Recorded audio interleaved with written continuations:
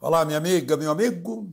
Fim de semana chegando e hora de ler para vocês o meu artigo semanal que saiu em 38 jornais fazendo comentários nas entrelinhas. É, eu sei que o grande assunto foi Alexandre de Moraes, Elon Musk, mas também não esqueçam da Venezuela, que Lula está no meio do caminho, desagradou os democratas, desagradou os esquerdistas lá do Caribe, e não tem saída. E é sobre isso o artigo de hoje, que eu vou ler com comentários nas entrelinhas. Não esqueça de se inscrever, vamos chegar juntos a 3 milhões, está chegando perto, e ao final de deixar o gostei ou não gostei.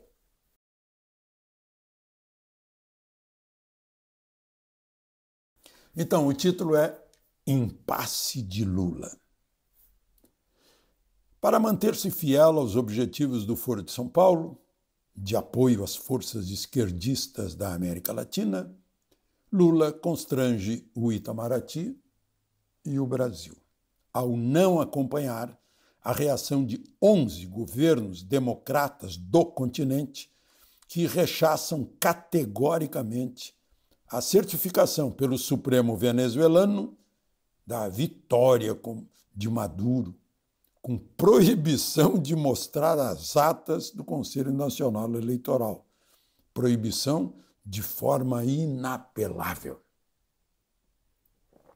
Estou explicando em outras palavras aqui, num jogo em que Maduro perdeu, o juiz pegou a bola, decretou a vitória de Maduro sem direito de mostrar o VAR dos gols. É, perderam completamente a vergonha. O mundo todo está vendo. O juiz pega a bola, não, não era esse o resultado combinado, acabou, ó, Maduro ganhou. Perdeu por 66 a 30, né? quase dois terços a um terço. Mas Maduro ganhou e não pode mostrar os gols que ele levou. É isso. A ONU, a União Europeia, a Organização dos Estados Americanos e 11 países americanos protestaram contra a fraude explícita. Mas o Brasil não. Para Maduro, a posição de Lula ficou parecendo traição. E até para Ortega, da Nicarágua. Segundo ele, Lula quer se converter em representante dos Yankees. Chamou Lula de bajulador dos Estados Unidos. Chegou a dizer que o passado de Lula não engana, que ele foi enquadrado pela Lava Jato e foi condenado. Ortega, Daniel Ortega, que era amigo de Lula, no tempo em que o TSE proibia de dizer isso. Agora não é mais. Já expulsou o embaixador brasileiro. O Brasil teve que mandar embora a embaixadora de Ortega, que agora já virou ministra lá na Nicarágua. Começou porque o Brasil tentou defender os, a Igreja Católica sendo expulsa de lá. Né? Bom, é, então, prejuízo para Lula, para todos. Né? Além disso, o PT, que é o partido de Lula, Lula é o presidente honorário do PT, reconheceu imediatamente a vitória de Maduro, antecipando-se até a certificação do Supremo de Maduro. PT quase um mês antes. Senão Maduro ganhou, acabou. Aí Lula está contrariando Maduro, Ortega e o PT também, porque o Lula não repetiu o que a direção nacional do PT escancarou. No dia seguinte à eleição. Ou seja, Lula está num impasse. A Colômbia, onde estão 3 milhões de refugiados venezuelanos, e o Brasil, dizem que tem um milhão aqui, não sei. Supostamente, os dois, Brasil e Colômbia, esperam convencer Maduro. Aí eu pergunto: convencer a quê? Convencer de quê? Convencer Maduro a sair do governo? Claro que não vão conseguir. É, utópico isso. Ele já preparou tudo lá dentro e está pouco ligando para a Colômbia e para o Brasil. Né?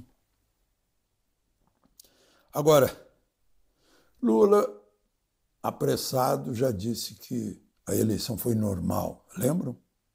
É, disse que a oposição insatisfeita é que recorra à justiça. Lembram? É, que se faça outra eleição. Lembram? É, eu até disse, vamos fazer uma, duas, três, quatro, cinco eleições até que Maduro ganhe. Agora, Maduro não quer outra eleição, porque o Supremo já disse que ele ganhou essa. A oposição também não quer outra eleição, porque sabe que ganhou essa. Só Lula. Aí, tentando se corrigir e não ficar tão mal assim, ele admitiu mais tarde que o regime de Maduro é muito desagradável e que é preciso mostrar as atas. Ele insistiu com o presidente colombiano Gustavo Petro, os dois, que é preciso mostrar as atas. Eles sabem que Maduro não vai mostrar, isso eles estão fazendo só para o público. Não? Não, eles estão exigindo mostrar as atas. Está proibido pelo Supremo venezuelano de mostrar as atas. O vencedor Edmundo Gonçalves, que teria que se apresentar ao Ministério Público essa semana, claro que não foi senão vai ser preso.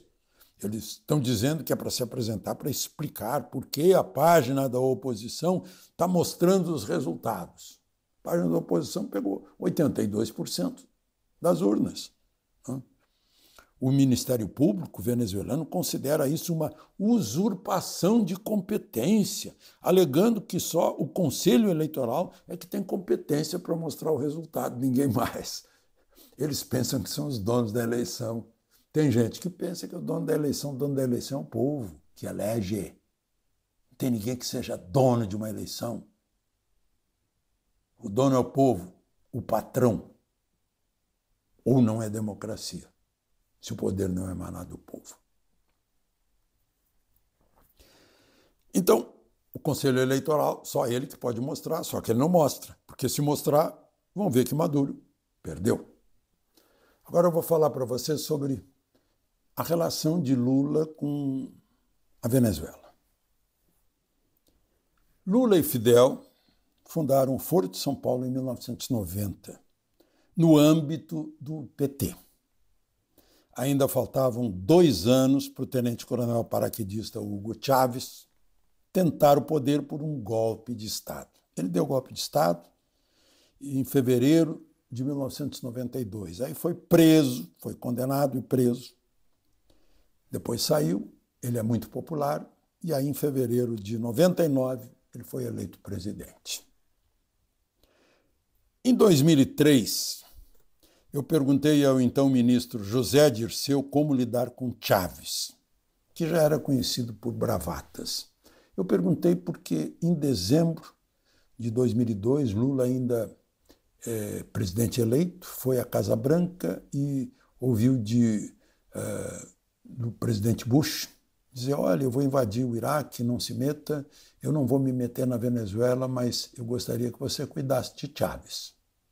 Aí eu perguntei para José Dirceu como é que está cuidando, como é que é cuidar de Chaves. E ele me respondeu, eu não lembro bem as palavras, que seria como lidar com uma pessoa desequilibrada. Pois bem, em 2008, Chaves criou com Lula né, é, a Unasul, foi em Brasília. É, era mais ou menos para executar uma união das repúblicas sul-americanas né? é, que, que, ia fazer os princípios, praticar os princípios é, do Foro de São Paulo.